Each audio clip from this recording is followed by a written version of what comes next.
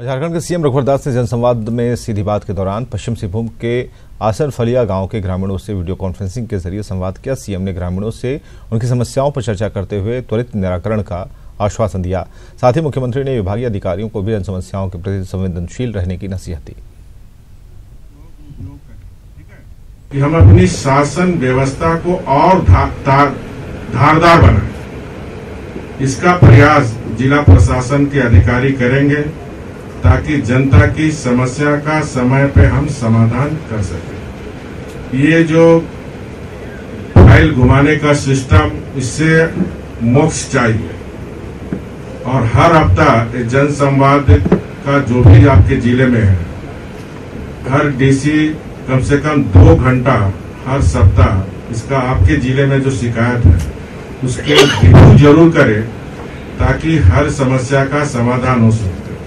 जो समाधान नहीं हो सकता उसको स्पष्ट जनता को बता दीजिए कि आपकी ये समस्या का समाधान नहीं हो सकता। लेकिन जनता को हमारी कार्यालय में दौड़ाने का काम ना करें।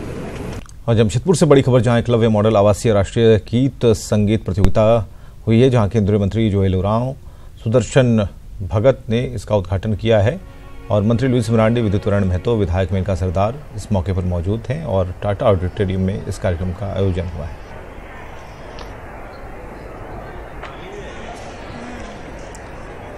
रांची के इस्लामनगर में अतिक्रमण प्रभावितों को घर के लिए और इंतज़ार करना पड़ सकता है। निर्माण कार्य की धीमी गति से काम पूरा होने में और भी समय लगने की उम्मीद है।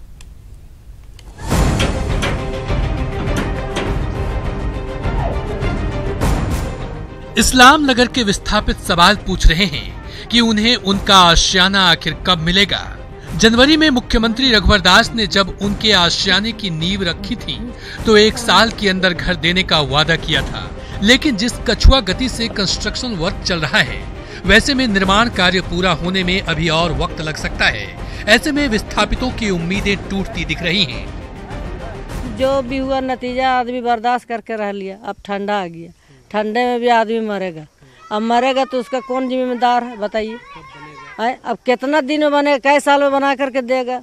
काम एकदम कभी होता है कभी एकदम सोलो है। 2019 में तो हमको नहीं लगता कि ये काम पूरा हो सकता है। मगर 280 पचासी फ्लैट हमको लग रहा है कि 2019 तक कंप्लीट हो जाएगा। फंड भी कुछ लेट से रिलीज़ हो रहे हैं और दूसरी बात है कि लेबर्स जो हैं वो भी चले जा रहे हैं छुट्टी पे चले जा रहे हैं। तो इसको कैसे किया जाएगा? तो मुझे लगता है मैं अपने नगर विकास मंत्री से मिलकर इसको लेकर के एक चर्चा होनी चाहिए। साल 2011 में इस्लाम नगर और अली नगर में राजकीय पॉलिटेक्निक कॉलेज की ज़मीन पर गैर कानूनी तरीके से बसे सैकड़ों घरों को ध्वस्त कर दिया गया था। पिछले साल मार्च में कैबिनेट ने उसी स्थान पर 444 प्रभावित परिवारों को बसाने का फैसला लिया था। इसके लिए 33 करोड़ रुपए आवंटित किए गए, लेकिन कंस्ट्रक्शन की धीमी गति ने विस्थापितों की उम्मीदें धराशायी कर दी।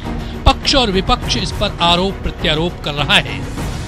न्यायालय के आदेश पर मकान का आदेश हुआ और जब बन रहा है तो धीरे धीरे बन रहा है। इसके लिए सरकार जिम्मेवार है। कांग्रेस आरोप जो लगा रही है वो बेबुनियाद है। अगर सरकार की नीयत साफ़ नहीं होती और राज्य के मुख्यमंत्री माननीय रघुवर दास जी की नीयत साफ़ नहीं होती तो इसे अपने कैबिनेट में ला कर करके इसे पास कर करके वहाँ काम नहीं शुरू कराते।